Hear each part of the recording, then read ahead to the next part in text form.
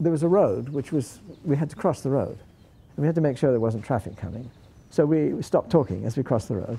And then we got to the other side. And evidently, I'd had an idea in the middle of crossing the road. But then he started talking again, and the idea got blotted out of my mind, and, and I totally forgot it. But then at, afterwards, I had this strange feeling of elation. I said, why do I feel happy here, you see?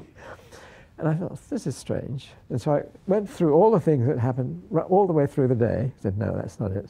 Oh, that was quite fun, but no, it wasn't that. no, no, no, no, not that.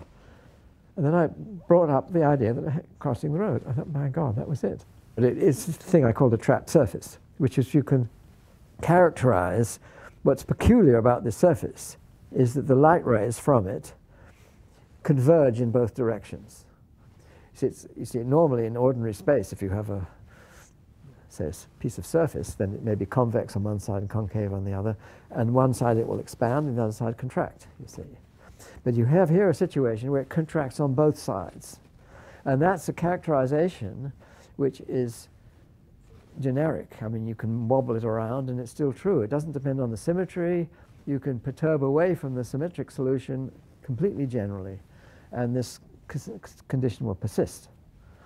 It's a local condition on the surface, but it's global because it has to happen all over the sphere. And I thought that's just the kind of condition I need. And I, later in the same day, I sketched out a proof of, of, the, of the theorem, just from that. So the, the, that insight was something was enough to make me feel happy in that short time and across the road, happy enough to think this was the solution to the problem. Now, quite why I felt so confident about it, I don't know. It's the sort of thing I like to do, to walk in the woods. If I have a problem that I need to think about and doesn't require writing anything down, it requires con some conceptual idea that I haven't quite sorted out.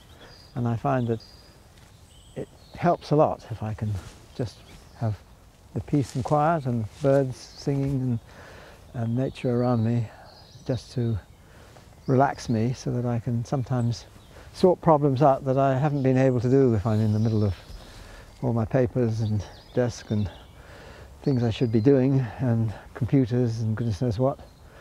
Just to walk out in the woods I find incredibly relaxing and often I've found that there's a problem I've been stuck on and it becomes clear when I can walk in the woods.